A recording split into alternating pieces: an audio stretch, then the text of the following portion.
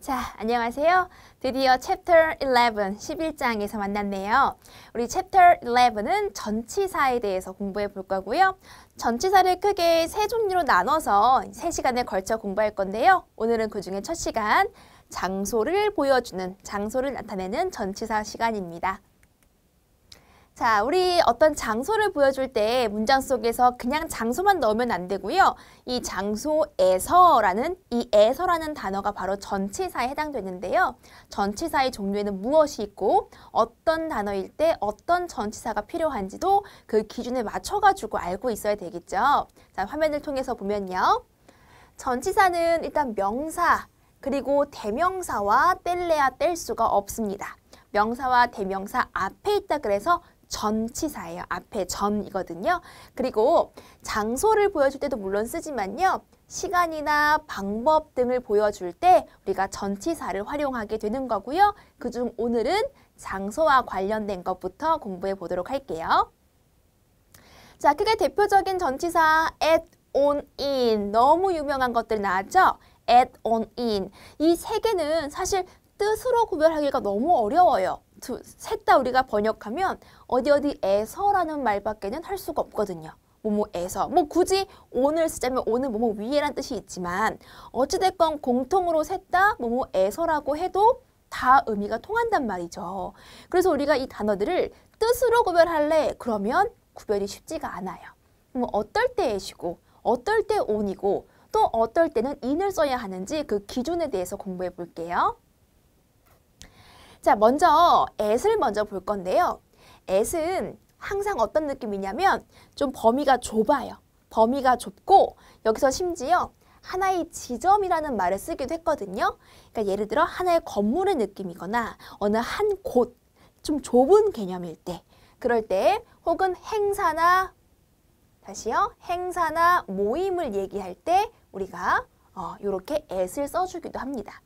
자, 그래서 at home 집에서 at the door 문에서 at the bus stop 버스 정류소에서 at a party 파티에서 이런 식으로 상당히 범위가 좁은 편이죠. 이런 류의 동 단어 앞에는 at을 붙일 걸 기억해 주시면 되겠고요.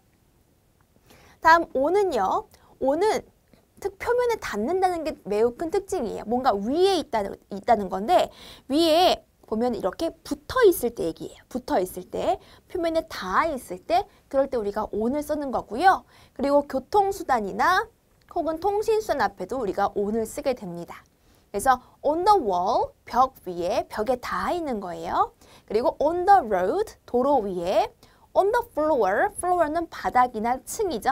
바닥에, on a bus, 버스에 이런 뜻으로 정리해 두고요. 마지막 이는 제일 넓은 느낌이에요. 그래서 이는 넓은 장소나 넓은 공간의 내부를 말하는 거죠. 어디 어디 안에서란 뜻인데요.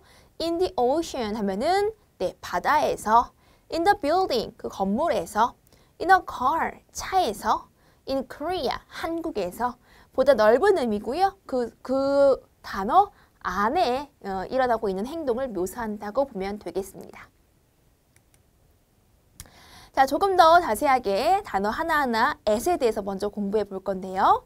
at은 하나의 지점이라고 했죠. 범위가 좀 가장 좁은 느낌이라서 집이나 식당, 그리고 버스 정류소, 그 다음에 학교 이런 식으로 하나의 점으로 여겨지는 그러니까 한 지점이죠. 한 지점. 하나의 점으로 여겨지는 부분 다소 좁고 네, 요 단어 좁고 구체적인 지점이다라고 우리가 정의 내릴 수 있겠습니다. 좁고 구체적인 범위를 말할 때는 at을 쓰네요. 자, I saw Daniel at the fair. 나는 다니엘을 보았어. 여기 왜 하필 at이 들어갔냐면 뒤쪽이 극장이거든요. 자, 우리 극장이라는 개념은 하나의 건물, 한 지점, 점으로 찍을 수 있죠. 큰 지도에 놓고 보자면 이렇게 연결될 만큼 큰 부분이 아니라 그냥 여기라고 딱 점을 찍을 수 있는 지점이기 때문에 at이 적합한 전지사가 되겠고요. Amy and I, Amy하고 나는 will meet, 만날 거야. 어디에서요? At the bus stop, 버스 정류소에서 만날 거야 그랬어요. 우리가 버스 정류소라고 하면 정말 좁죠. 뭐 물론 요즘은 의자도 많아지고 개인적으로 뭐 넓어졌다라고 생각은 들지만 실제로 어떤 장소라고 비교하기엔 장소끼리 비교하면 상당히 좁은 범위예요. 요만큼 정말 사람들 몇 명이 서 수 있을 만한 공간이기 때문에 아주 작은 지점으로 여기게 됩니다. 그래서 우리가 at을 쓰는 가장 대표적인 어, 단어의 조합이 되겠고요. 그 다음 on인데요. On은 제일 큰 특징이 뭔가 정말 위에 있다는 느낌이 되게 커요. 뭐 위에 접착되어 있는, 이렇게 붙어 있는 느낌이거든요. 그래서 선이나 면으로 여겨지는 장소에 위에 있음을 보여줍니다. 우리가 보도블럭 같은 거 있죠. 보도블럭. 그럼 보도블럭이 이렇게 점은 아니죠. 보도블럭이 쫙 깔려 있죠. 이렇게 면으로 깔려 있는데 그 위를 우리가 걷잖아요. 그러면 on the street이라고 하죠. on the street. 우리가 도로 위를 걸어갈 때, 거리 위를 걸어가다 할 때 on the street이라는 단어 쓰고요. 그리고 자동차들이 다니는 길, 그 도로라고 하는 거, 그 도로도 일정한 면적이 있죠. 그 면적 위를 차들이 붙어 있는 거죠. 붙어서 달리는 거죠. 그래서 차가 어, 도로 위를 달린다 할 때도 on a road라고 우리 on을 쓰는 게 적합하거든요. 예문을 좀 더 볼게요. The dog was lying. 그 강아지가 네, lying은 어, 우리 lie라는 단어 출발이에요. lie가 눕다입니다. 눕다. 강아지가 누워 있었어 뜻이죠. 강아지가 누워 있었어. on the grass. grass는 이제 잔디나 잔디밭인데요. 잔디밭 어느 쫙 일정한 면적이잖아요. 그 잔디밭 위에 붙어서 누워 있겠죠. 그래서 우리가 접촉이 있다. 어, 그 잔디밭 위에서 접촉이, 접촉이 있다 그러면 on을 써주는 게 매우 잘 어울리겠습니다. 자, there are some books. 약간의 책이 있습니다. on the desk. 책상 위에. 자, 우리 책상은 머릿속으로 금방 그림 그려지죠? 책상도 네모나게 면적이 있고 그 면 위에 책들이 맞닿아 있겠죠? 따라서 on the desk, 데스크 위에, 책상 위에 약간의 책이 있다 할 때 on이 적합한 전치사 선택이 되겠죠. 마지막으로 in인데요. in은 선생님이 가장 늦게 소개하는 만큼 가장 넓은 범위를 지칭할 수 있어요. 뭔가 좀 경계선이 크게 지어질 때 그때 우리가 in을 쓰는데요. 자, 여기 테두리라는 말이 있죠? 테두리, 경계선이요. 테두리가 둘러싸여 있는 공간. 그리고 어떤 장소의 내부입니다. 내부. 그래서 어떤 마을을 말한다거나 아니면 도시, 서울이나 아, 서울이나 뭐 베이징 이렇게 도시 개념 말할 때 심지어 더 크게 국가를 말할 때 in Korea, in Japan 우리 왜 우리 중국에서 만들어진 이란 표현 뭐였어요? made in China 이러죠? 그때 중국처럼 이런 국가 단위의 넓은 범위는 in을 써주는 거예요. 그래서 도시나 국가 등 다소 넓은 지역을 나타냅니다. Jenny lives in a beautiful village. 제니는 살아요. 어디 사냐면 아름다운 village, 마을에 살아요. 우리 여기서부터 여기까지는 마을이야라는 건 이렇게 경계선을 치잖아요. 이렇게 뭔가 이렇게 테두리로 둘러싸여 있는 다소 넓은 개념이 이미 딱 적합하겠구나 이해해 주고요. What is the largest island in the world? 세상에서 가장 큰 섬은 무엇입니까? 라는 표현인데요. 여기서 세계라는 것도 정말 넓잖아요. 세계, 세계에서 라는 표현을 우리가 in으로 감싸주는 게 가장 적합하겠습니다. 자, 이렇게 해서 일단 in에 대해서 한번 공부해 봤고요. 자, 두 번째로는 우리 대표 동사 at, on, in 그 다음에 그 다음에 또 추가로 공부해 볼 단어들을 나열했는데요. 첫 번째 우리가 over, under 이런 것도 많이 볼 거예요. 자, over, over the tree, under the under the desk 이런 말 많이 썼는데 이 둘은 반대말이죠. over가 뭐 위에 있고 under는 그 반대 뭐 아래에 있다는 건데 사실 뭐뭐 위안, 위라고 하는 건 우리 아까 온도 배웠잖아요. 온도 뭐뭐 위에였잖아요. 근데 또 얘랑은 달라요. 요 위에 over하고 동의어는 아닙니다. 어떤 식의 차이가 있냐면 자 우리 그림 먼저 볼게요. 그림. 어떤 물건이 있을 때 어떤 명사이겠죠? 이 명사가 있을 때 명사 위긴 위인데 그 명사랑 맞닿아 있으면 그때는 우리가 on을 쓰는 거예요. 이렇게 접촉, 접착이 되어 있으면 on이고요.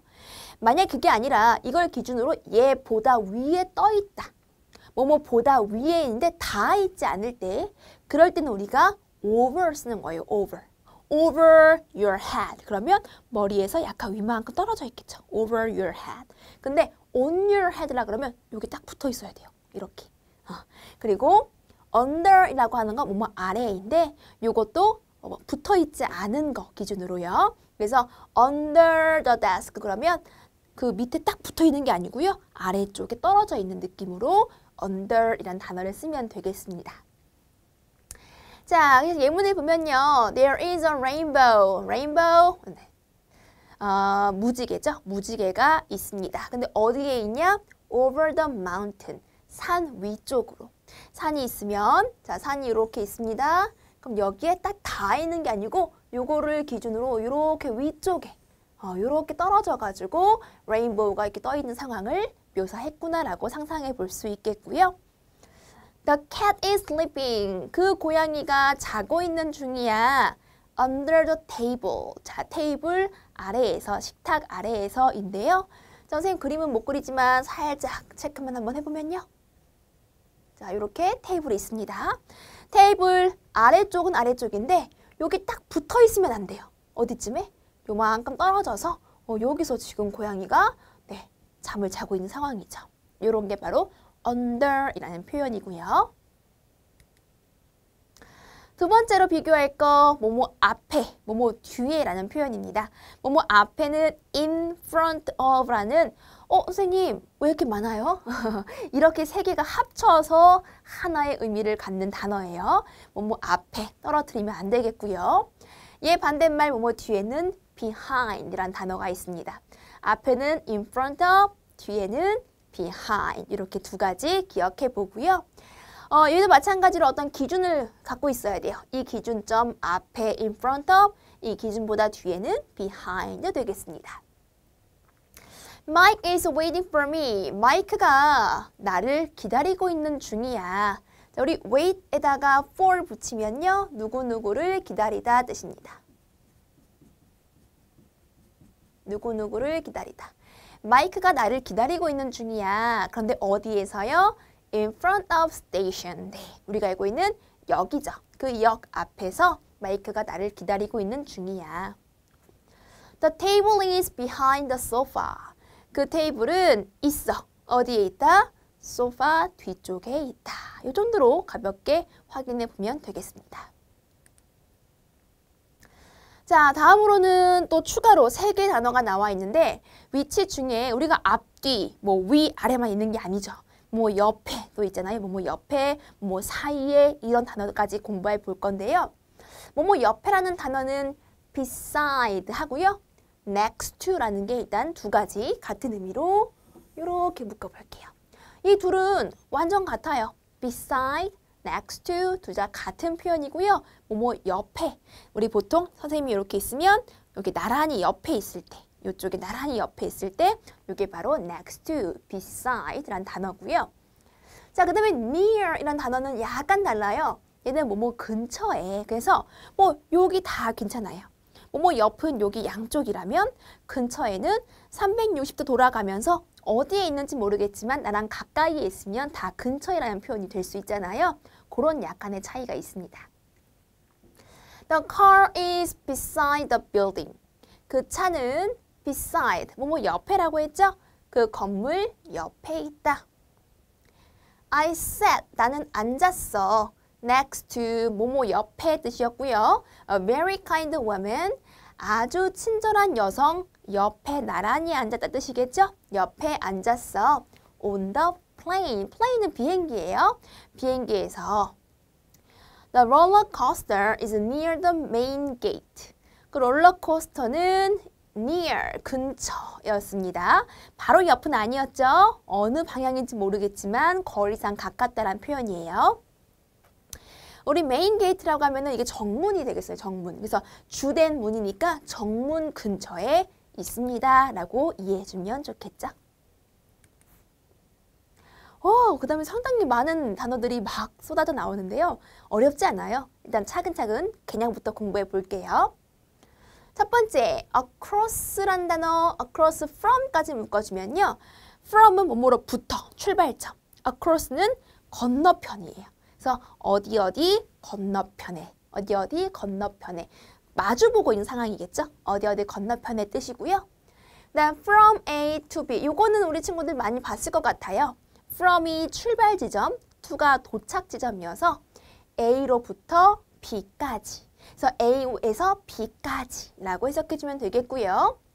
그 다음에 우리 among하고 between은 사실 일단 같이 묶어볼게요. 우리말로 해석했을 때는 among하고 between이 마치 동의어처럼 느껴져요. among하고 between 뜻이 뭐냐면 뭐뭐 사이에 란 뜻이에요. 뭐뭐 사이에.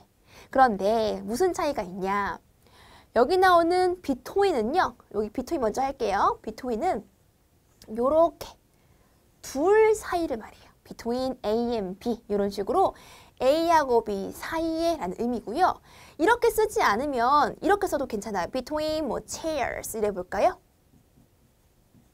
이렇게 복수를 쓰면 의자가 두 개 있는데 그 의자들 사이에라고 이해해주면 되겠죠. 그래서 A와 B 사이에 뭐 a chair and a chair 이러지 않고요. 그냥 chairs 의자들이 있는데 그 의자 둘 사이에라고 바로 적을 수도 있겠습니다. 자 그러면 among은 무엇이냐? among은 몇 개 사이에? 세 개 이상일 때 여러 가지 그래서 두 개면은 between이고요. 셋부터는 뭘 쓴다? among을 쓰면 돼요. among 뭐 사이에 자 예문 한번 보겠습니다. The pharmacy 약국은 pharmacy가 약국이거든요. 약국은 is across from the hospital. 병원 맞은편에 있습니다. 길 건너에 있나 보죠. How far is it? How far 얼마나 멉니까? From here to the subway station. 여기 from A to B니까 여기에서 지하철역까지 얼마나 멉니까? 라는 쓰임이 되겠고요. We set up 셋업 설치하답니다. 설치하다. 우리는 우리의 텐트를 설치하였습니다. Among the pine trees. pine tree는 이제 우리가 알고 있는 소나무예요. 소나무들 사이에. 그 소나무가 적어도 몇 그루 이상이다? 세 그루 이상이구나 라고 눈치채주면 되겠고요. The baby slept. 아기는 잠을 잤다. Between mom and dad. 네, 두 명이죠. 엄마 그리고 아빠 사이에서 그 아기는 잠을 잤다. 둘 사이니까 between 이렇게 쓸 수 있는 거고요. 자, 그림 좀 보세요. 이렇게 우리가 이해한 게 맞는지 한번 최종 체크 한번 해보겠습니다. 자, 어떤 단어를 중심으로 건너편에 란 뜻, across from 이렇게 마주보는 느낌이면 되겠고요. from A to B는 출발점부터 요게 A겠죠? 도착점 B까지 이렇게 상황이 이어지는 모습이고요.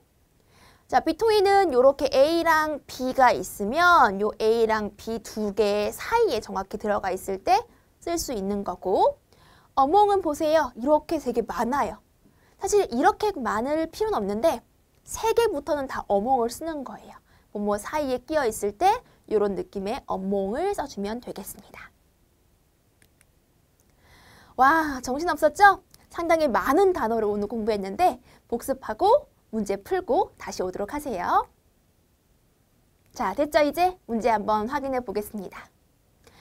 I left my diary 빈칸 home. home은 우리가 알고 있는 집, 건물 개념이죠? 이렇게 범위가 좁을 때는 네, 애을 쓴다고 했었죠. 나는 집에 내 일기장을 두고 왔다, 두었다. There is a large map. 어, 큰 지도가 있어. 벽 위에. 지도가 벽에 붙어 있지 않겠어요? 접착되어 있을 때 뭔가 이렇게 어, 서로 맞닿아 있을 때 뭘 쓴다? 오늘 쓰는 거였고요. I studied English and art. 나는 영어와 미술을 공부합니다. 뉴욕에서. 뉴욕이라는 도시 개념이면 다소 크지 않을까요, 여러분? 정답은 in 골라주고요. 4번 A black car is parked. 검정색 차 한 대가 자, 요 단어 park가 물론 공원도 있지만요. 주차하다라는 뜻이 있어가지고 차 한 대가 주차되어져 있대요. 그런데 하얀색 차 위, 위에 하면 될까요? 안 될까요? 안 되겠죠. 하얀색 차 음, behind 뒤편에 라고 해야지 상상이 가능하겠죠? Can you see the baby? 어, Can you see the boy? 빈칸 here. 너는 그 남자 아이를 볼 수 있니? 보이니? 어디 있는? 여기 건너편에 있는. 여기 위에 있는. 뭐가 좋겠어요? 그쵸? 건너편에 있어야지 보이니라는 상황 좀 맞겠고 여기 위에라는 말은 좀 말이 안 되죠? 6번에 The pencil is 그 펜은 그 테이블 사이에 있는지 아래에 있는지 어, 선생님 둘 다 말 되지 않아요? 어, 얼핏 들으면 둘 다 될 것 같죠? 어, 근데 답은 하나예요. 왜냐하면 기억나세요? 비트윈이 있으면 뒤에 몇 개 몇 개 있어야 돼, 몇 개. 두 개 있어야 되는 거였잖아요. 근데 여기는 지금 A and B도 아니고 테이블스도 아니니까 비트윈 탈락이에요. 이렇게 푸는 거예요. 정답 under. 자, 2번 문제입니다. 1번. I met Tom. 나는 탐을 만났어. 지하철역에서. 지하철역 위에서 보는 건 아니겠죠. 지하철역에서 다소 좁은 개념일 때는 s를 쓰기로 했고요. Kelly lives between the first floor. 자, 우리 floor 바닥인데요. first, second, third 이런 서수와 함께 들어가면 층을 말해요. 층. 그래서 켈리는 1층에 삽니다. 자, 근데 우리 1층은 면적이잖아요. 이런 면적이 있고 그 면적, 그 바닥 위에 우리가 생활하는 거니까 전치사 on으로 적어주세요. My dad is working from China. 우리 아빠는 일하셔. 중국으로 붙어 일하셔? 이상하죠? 중국에서겠죠? 나라 앞에는 뭘 붙인다? in을 붙이고요. The sun shines brightly. 태양이 밝게 빛난다. 하늘 근처에서요? 태양 그냥 하늘에 있는 거 아니에요? 정답은 in이겠죠. Many people are walking at the street. 많은 사람들은 걷고 있어. 사람들이 걷는 거 보세요. 거리 위에 붙어 걷죠? 그럼 뭐가 적절하겠어요? on이 좋겠죠. There is a lot of water. 많은 물이 있어. 빈칸 the ocean. 우리 바다에서라는 다소 넓은 범위 바다라는 그 개념 안에 물이 있는 거잖아요. 정답은 네, 인으로 가지는 게 좋겠습니다. 자, 단어 배열 문제네요. 한번 쭉 풀어볼게요. 다리 밑에 그들의 보트가 있었다. Their boat가 있었다. 비동사 was 먼저 가는 게 좋겠고요. 다리 밑에 under the bridge. 그 당시에 나는 문 뒤에 있었대요. At that, at that moment, I was behind the door. 그 개는 노인 옆에 있었다. The dog was 뭐가 뭐뭐 옆에. Next to 그대로 가면 되겠네요. Next to the old man. 아기 위로 우산 좀 받쳐줘요. Please hold an umbrella. 우산을 잡아주세요. 아기 위로. 그럼 어떻게 돼요? Over the baby. 그 집 앞에는 큰 나무들이 있다. 자, 큰 나무들이 있다까지는 이미 나온 거고요. 그 집 앞에, 뭐뭐 앞에 in front of였죠? in front of the house. 커다란 텐트가 두 나무 사이에 있다. 두 나무 사이라면 우리 안 보고도 떠올릴 수 있을 텐데 뭐였어요? between이었죠? 그러면 셋 이상은 뭐였는지 기억나세요? 그쵸? among이었죠. 비교돼야 돼요. 자, a big tent is between two trees. 이렇게 정답 나올 수 있겠습니다. 와, 벌써 전치사. 이제 조금 알 것 같지 않아요? 그냥 예시 아니었구나. 아, 그냥 온이, 느낌상 온이 아니었구나. 다 나름의 기준점이 있구나. 라는 거 오늘 배웠으면 큰 어, 소득이 있었던 수업이었어요. 자, 꼼꼼하게 꼼꼼하게 다시 한번 복습하시고요. 우린 또 다음 전치사 공부할 때 보도록 할게요. 안녕.